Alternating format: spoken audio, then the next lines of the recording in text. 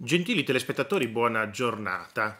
Viene fuori una notizia eh, che io vedo assurda. Beh, non la notizia, eh, ma eh, il contenuto della notizia.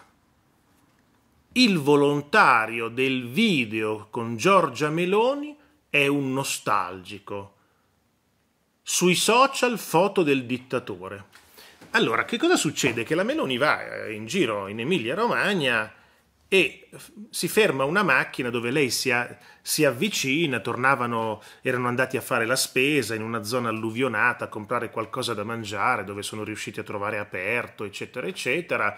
E questo signore fa un video, fa un video che poi mette sui social, diventa virale perché dice ah c'è qui la Meloni, bla bla bla bla bla bla bla il video di questo Alberto Albonetti, volontario.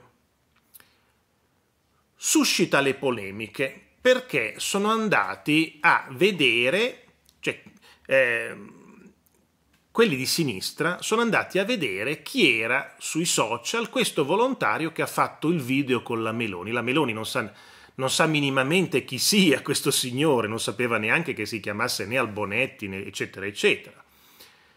Questo volontario eh, sulle, sue, sulle sue pagine social è pieno di foto del dittatore con le solite frasi, credere, obbedire, tutte quelle robe lì, no? Um, che oggi è, ancora, è, anche difficile vedere perché di solito i social censurano subito questo. Eh? Attenzione, se voi andate su Facebook e mettete una foto del dittatore, slogan, ve li censurano subito e vi chiudono anche la pagina Facebook. Mm?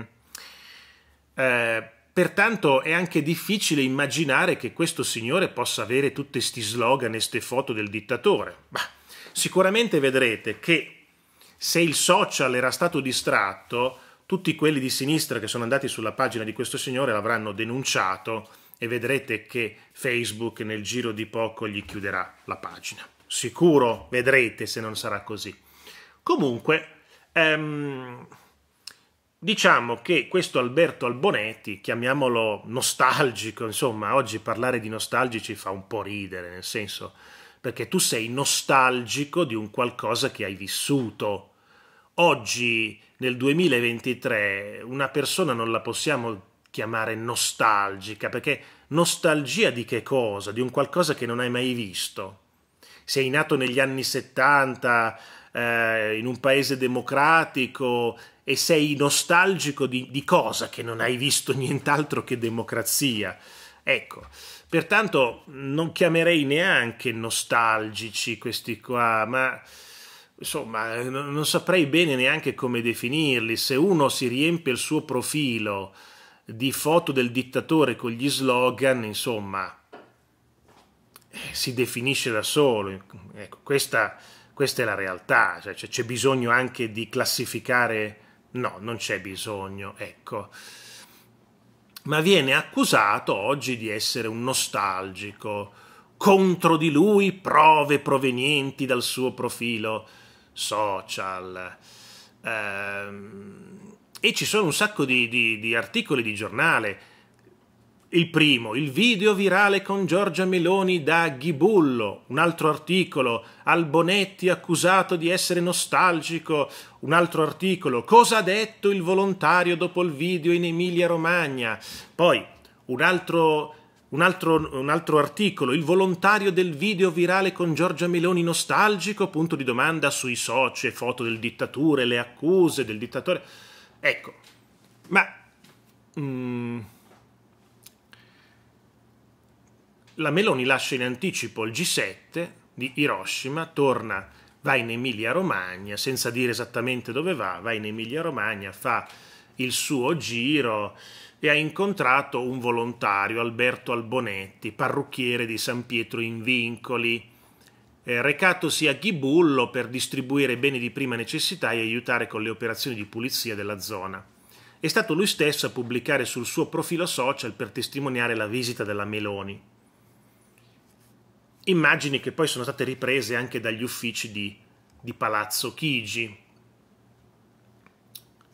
Lui dice, il volontario, non, voi non crederete cosa abbiamo trovato a Chibullo, il sindaco non si è fatto mai vedere, però abbiamo trovato Giorgia Meloni. Siamo riusciti anche a stringerle la mano. Segue poi uno scambio di battute con la Meloni che elogia il lavoro dei volontari e poi posa con qualche foto assieme ad Albonetti e il figlio. E qua la vicenda eh, arriva anche nel programma di Floris, il programma di martedì, e Repubblica ha iniziato a sollevare perplessità sul video diventato virale. Il primo dubbio riguarda la casualità della situazione, viene fatto intendere che tutta la scena potrebbe essere stata organizzata. No. Quindi avete capito un po' il giochino? Questo era uno che pubblicava foto del, del dittatore, trova la Meloni, fa un video, lo pubblica sul suo profilo, allora la Repubblica ipotizza che sia stato tutto programmato da questo sostenitore della Meloni per mettere sul suo profilo il video e fare propaganda. Ma come può pensare Repubblica che la Meloni possa essere d'accordo con uno che metteva tutte le foto del dittatore a fargli fare un video e metterlo sul suo profilo. Insomma, qui siamo proprio al ridicolo, insomma, completamente al eh, ridicolo.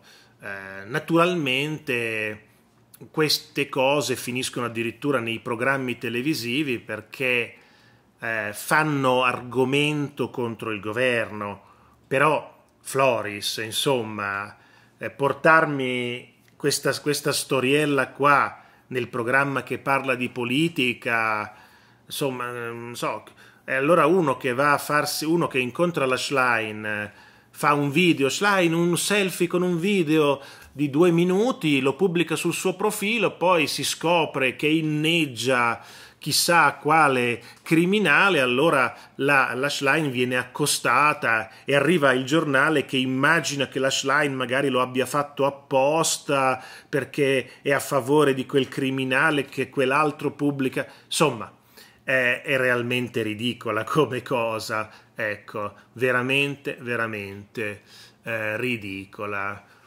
Eh, Diciamo che questo poi questo signore eh, dice non mi sembrava vero, ho visto la Meloni e mi è preso un colpo, non si è mai visto il sindaco ma nemmeno Bonaccini ed è venuta lei. Ha poi aggiunto, visto le, lei arrivare con gli stivali, si è avvicinata e ci ha fatto i complimenti per quello che stiamo facendo ci ha detto che siamo dei bravissimi ragazzi, che la macchina della solidarietà è bellissima, ci ha salutato, ci ha abbracciato, si è fatta fare la foto col mio figlio, è andata a vedere anche altre famiglie, parole che queste le accuse avrebbero un tornaconto politico. Insomma, eh, con questo si dimostra un po' il livello del giornalismo in Italia. Arrivederci a tutti e grazie.